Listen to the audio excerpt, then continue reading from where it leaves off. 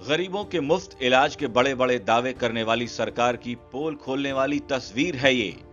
गहलोत सरकार की योजनाओं पर सरकारी अधिकारी कैसे पलीता लगाने का काम करते हैं, उसकी बानगी है ये तस्वीरें। हनुमानगढ़ के सरकारी अस्पताल में अपने पति का इलाज करवाने पहुँची इस महिला के पास मुख्यमंत्री स्वास्थ्य बीमा योजना वाला कार्ड भी था, जिसके तहत पाँच लाख रुपए तक का इलाज मुफ़्त होता है, लेकिन इसके बावजूद इससे पैंतीस हज़ार रुपए मांगे गए।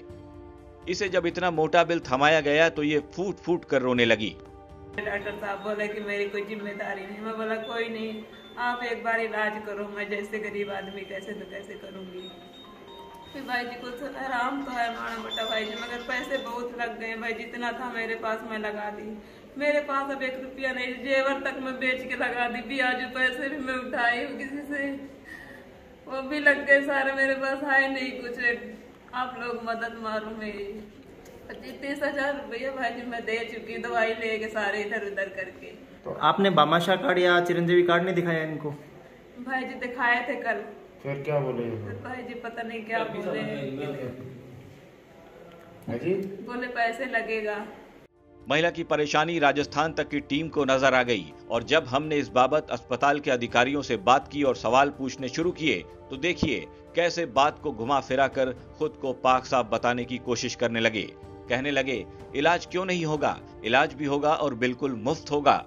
ये सारी बात मैंने सीमत साहब को बताई कि इस तरह कोई महिला वहाँ इस तरह की हो रही है, उनका इलाज फ्री होना चाहिए था हुआ नहीं है।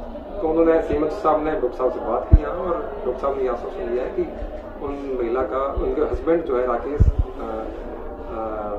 son of Shri Omkar Nai Kunja ward number दो उनका इलाज पूरी तरह से निःशुल्क किया जाएगा और ये मरीज़ सीरियस कंडीशन में आया था। जब ये आया तो इसकी वाइफ जो इसको लेके आई, हमने कहा कि भाई इसको आगे लेके जाओ। इसने कंडीशन बताई कि काफ़ी ख़राब है। इसने उस टाइम हमें कोई कार वगैरह के बारे में कोई ज़िक्र नहीं किया। तीन दिन तक इसका ट्रीटमेंट चलता रहा, जो भी है, इस जन सहयोग से ये लोग बात ब्लड वगैरह लेके आए। और कल इन एक जो बंधुवर हैं, उन्होंने मेरे से कहा तो मैंने उनसे ये कहा कि भाई इसका अपन वैसे ही मदद कर देंगे, जो भी मदद है। और अब आप लोग कह रहे हो तो इसका हम फ्री करवा देंगे, कोई दिक्कत नहीं। ये महिला यूपी की रहने वाली है। अपने पति के साथ राजस्थान में मजदूरी करके अपना परिवार पालती है। तो क्या गहलोत सरकार ऐसे गरीबों के लिए अपनी सरकारी योजनाओं का लाभ नहीं देती? शायद नहीं। क्योंकि अगर ये मामला मीडिया के ज़रिए सामने न आता तो शायद हनुमानगढ़ के सरकारी अस्पताल की पोल नहीं खुलती। बस पड़ताल करने की ज़रूरत भर है। प्रदेश में कई ऐसे अस्पताल मिल जाएँगे जहाँ मरीजों से पैसे मांगे जाते हैं और बगैर इलाज ये मरीज़ इनके परिजन यूँ ही रोते बिलखते रहते हैं।